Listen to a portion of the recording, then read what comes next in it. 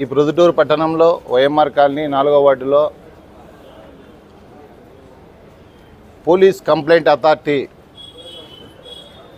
మెంబర్గా ఎన్నికైన కాకల నాగశేషారెడ్డి గారు ఈరోజు మేమందరం కూడా కలిసి స్నేహితులమందరం కలిసి పాత స్నేహితులందరూ ఎందుకంటే గతంలో కూడా నాగశేషారెడ్డి గారు ఈ వార్డులో కూడా ఎలక్షన్లు పెట్టడం జరిగింది. కాబట్టి అందరు స్నేహితులందరూ పాత స్నేహితులందరూ కలుసుకొని ఈ మెంబర్గా వచ్చినందుకు ఆయన సన్మానించాలని చెప్పేసి ఈ యొక్క ప్రెస్ మీట్ పెట్టడం కానీ ఈ సన్మాన కార్యక్రమం జరుగుతూ ఉంది. కాకల నాగశేషారెడ్డి గారు మేము గతంలో అంటే మేము ఎంవి రమణారెడ్డి టైంలో కూడా ఎంవి రమణారెడ్డి టైంలో కూడా మేము రాజకీయంలో ఉండి ఉన్నాం. ఆయన టైంలో కూడా మేము కౌన్సిలర్గా కూడా పోటీ చేసినాం. శేషు చేసినాడు నేను చేసిన వరుగు డోబురెడ్డి కూడా చేసినాడు. తర్వాత మళ్ళా వరదారెడ్డి గారు ఇప్పుడు మన ప్రీతం నాయకుడు మన శాసనసభ్యుడు రాజమల్లి ప్రసాద్ రెడ్డి ద్వారా మేము ఆయన అడుగుదాడులో నడుస్తూ ఉన్నాం. ఈరోజు దగ్గర దగ్గర ఇన్ని మన ఓబులేడి చెప్పినట్టు ప్రొద్దుటూరుకు ఎన్నో పదవులు వచ్చినాయి. కానీ ఈ పదవులో చైర్మన్ పదవి వచ్చింది తర్వాత బోర్డు మెంబర్లు కూడా కొంతమంది మెంబర్లుగా అయి ఉన్నారు. కానీ ఈ పదవి అనేది పోలీస్ కంప్లైంట్ అథారిటీ అంటే మొత్తం ఎనిమిది జిల్లాలు జిల్లాలకు అథారిటీ దీంతో డిప్యూటీ కలెక్టర్సు అడ్వకేటు తర్వాత డిఎస్పి అంటే క్యాడరు టాప్ క్యాడర్. ఎందుకు వాళ్ళకి ఇచ్చినారని అంటే ఆ ప ఆ దానికి సంబంధించిన డిఎస్పి వాళ్ళు దగ్గర ముగ్గురు నలుగురు ఉన్నారు డిప్యూటీ కలెక్టర్ ముగ్గురు ఉన్నారు అంటే స్టేట్ లెవెల్లో స్టేట్ లెవెల్లో. ఓన్లీ మన ఎనిమిది జిల్లాలకు ముగ్గురు ఉంటారు. ఈ ముగ్గురులో డిఎస్పి రావారెడ్డి గారు తర్వాత deputy collector retired deputy collector శ- శిరీషారెడ్డి శిరీషాదేవి తర్వాత కాకల నాగశేషారెడ్డి. ఎందుకంటే అడ్వకేట్ రూపంలో ఇచ్చినారన్నమాట ఇది. చాలా మంచి పదవి ఇది. ఇచ్చినందుకు మన ప్రీతం నాయకుడు మన గౌరవనీయులు వైఎస్ జగన్మోహన్ రెడ్డి గారికి ప్రత్యేక ధన్యవాదాలు.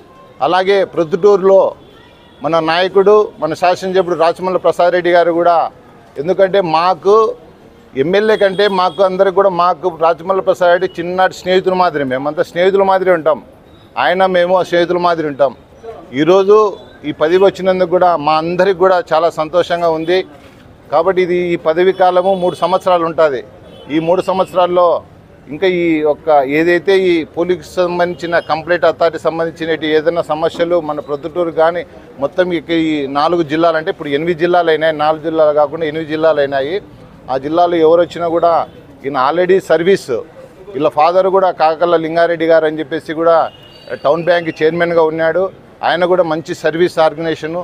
తర్వాత శేషు కూడా అదే పద్ధతిలోనే ఫాలో అవుతూ ఉంటాడు. అందరూ సర్వీస్ చేయాలనే ఆలోచనలు ఎక్కువ సర్వీస్ చేయాలనే ఆలోచన ఉంటాడు కాబట్టి ఈ పదవి రావడం కూడా మంచి ఇతనికి రావడం కూడా ఈ సర్వీస్ పదవి అనేది కూడా నాకు కూడా చాలా గౌరవంగా ఉంది.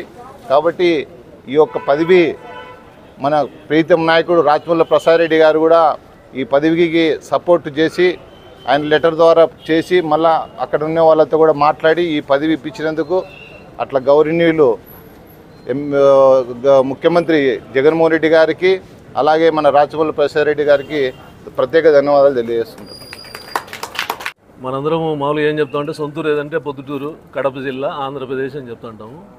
నేను కూడా చిన్నప్పటి నుంచి మన కాలనీలో మీ అందరి మధ్య డెబ్బై పంతొమ్మిది వందల డెబ్బై ఒకటో సంవత్సరం నుంచి మన కాలనీలో పెరిగినవాడినే కాబట్టి నేను లోకల్ అని మన కాలనీలో నేను లోకల్ కాబట్టి స్నేహితులందరూ ఈ విధంగా ఒక చిన్న కార్యక్రమం చేయడం నాకు చాలా సంతోషంగా ఉంది. దీనికి ముఖ్య కారణం రాజమౌళి శివప్రసాద్ రెడ్డి మన ఎమ్మెల్యే గారు. ఎందుకంటే కష్టపడేవాడిని గమనించి గుర్తించి ఎవరికి ఏం చేయాలా ఇప్పుడు ఈ పోస్టులు ఉన్నాయి ఈ పోస్టులు ఎవరిని పెడితే బాగుంటుందని ఆలోచన చేసి ఒక అథారిటీ అనేది ఉండేది ఆయన తెలుసుకొని నన్ను రికమెండ్ చేయడం జరిగింది. సో దానికి ముఖ్యమంత్రి జగన్మోహన్ రెడ్డి గారికి మన ఎమ్మెల్యే రాజమోహన్ శివప్రసాద్ రెడ్డికి ఎల్లవెల్ల రుణపడి ఉంటాను. అట్లా ఇదేమంటే ఈ అథారిటీ అనేది రాయలసీమకంతా ఎనిమిది జిల్లాలకు కలిపి ఒక అథారిటీ ఇది.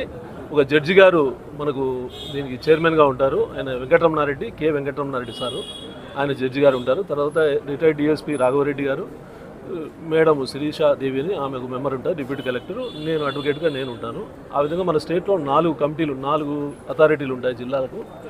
ఆ విధంగా పదహారు మందిని వేసినారు స్టేట్కి కూడా ఒక కమిటీ ఉంటుంది ఒక ఐఏఎస్ ఆఫీసర్ ఇద్దరు ఐపీఎస్ ఆఫీసర్లు ఉంటారు. సో మేము ఈ డిస్ట్రిక్ట్ పోలీస్ కంప్లైంట్ అథారిటీ అనేది డిఎస్పీ స్థాయి వరకు వాళ్ళపైన గ్రేవ్ కంప్లైంట్స్ ఏవైనా ప్రజల నుంచి కానీ వస్తే రిజిస్టర్ అయితే కానీ వాళ్ళపైన మేము ఎంక్వైరీ చేసి దాన్ని గవర్నమెంట్కు మా జడ్జి గారి ద్వారా గవర్నమెంట్కి పంపిస్తాం. అలాగే అడిషనల్ ఎస్పీ స్థాయి నుంచి పైదంతా కూడా స్టేట్ కమిటీ ఒకటి ఉంటుంది. ఒక ఐఏఎస్ ఆఫీసర్ ఇద్దరు ఐపీఎస్ ఉంటారు వాళ్ళు చూస్తారు.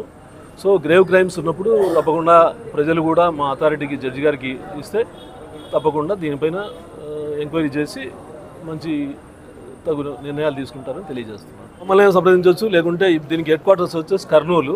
కర్నూలులో జడ్జి గారి కమిటీ ఉంటుంది.